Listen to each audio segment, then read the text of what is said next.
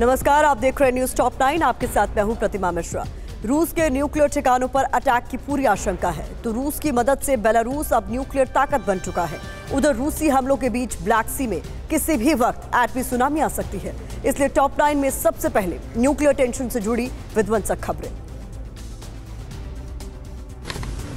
रूस की सुरक्षा एजेंसी एफएसबी ने न्यूक्लियर ठिकानों पर हमले की साजिश को नाकाम कर दिया। न्यूक्लियर ठिकानों पर हमले की फिराक में जुटे यूक्रेन के कई हमलावरों को गिरफ़्तार किया गया। यूक्रेनी हमलावरों के पास रूस के एटमी ठिकानों के मैप भी मिले हैं।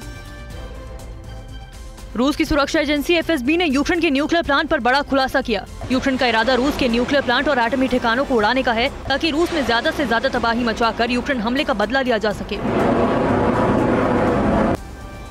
न्यूक्लियर टेंशन के बीच रूस और बेलारूस में बड़ी डील हुई है। बेलारूस में तैनात परमाणु हथियारों पर रूस का कंट्रोल होगा। न्यूक्लियर हथियारों की तैनाती और इस्तेमाल पर हर फैसला रूस करेगा। न्यूक्लियर वेपन्स की सुरक्षा भी रूसी फोर्स करेगी। बेलारूस इन एटमी हथियारों का इस्तेमाल सिर्फ़ रूस की इजाज़त से कर पाएगा। तो रूस अब बेलारूस की धरती से नाटो देशों के हर बड़े शहर पर आसानी से न्यूक्लियर स्ट्राइक करने में सक्षम है। यही वजह है कि रूस बेलारूस में हुई न्यूक्लियर डील से पश्चिमी देशों की टेंशन बढ़ गई है। रूस के साथ हुई डील के बाद अब बेलारूस भी न्यूक्लियर पावर बन गया। अगर नाटो के हमलों से बेलारूस के अस्तित्व पर कोई खतरा आया तो उसे न्यूक्लियर हथियारों के इस्तेमाल की पूरी छूट होगी। यानी ज़रूरत पड़ने पर बेलारूस भी रूस के न्यूक्लियर हथियारों का इस्तेमाल कर सकता है।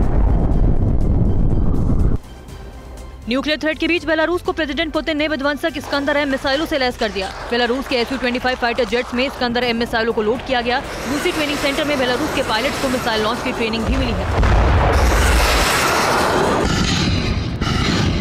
ब्लैक सी रीजन में रूस यूक्रेन आमने सामने आ गए हैं। रूसी फौज ने दनादन तीन ड्रोन अटैक से यूक्रेनी सर्विलांस शिप इवान खुर्स को तबाह कर दिया। रूसी फोर्स ने दावा किया है कि यूक्रेनी सेना पोर्ट से रूसी फ्लीट पर हमले की तैयारी में थी। बेलगोरोद वॉर फ्रंट पर यूक्रेनी फौज ने रशियन आर्मी पर बैक टू बैक कई बड़े हमले किए। यूक्रेनी फौज ने भीषण जंग के बीच रूसी पत्रकारों पर फायरिंग की। रूसी पत्रकार बेलगोरोद इलाके में रिपोर्टिंग कर रहे थे। अब दिवका के वॉर फ्रंट पर रूसी फौज की फतेह हुई है। एक मोर्चे पर हुई भीषण जंग के बाद यूक्रेन के पंद्रह सैनिकों ने हथियार डाल दिए। सरेंडर के बाद यूक्रेन के सैनिकों को एक खंडहर जैसे घर में कैद किया गया।